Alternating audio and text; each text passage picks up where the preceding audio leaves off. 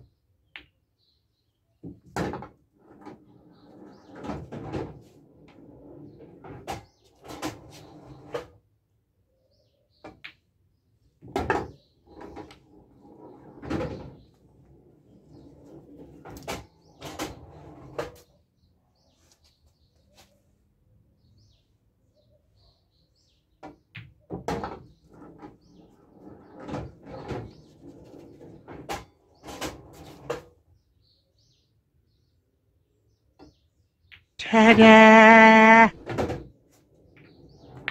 Yeah! Slithering. Watch out, watch out, watch out, watch out!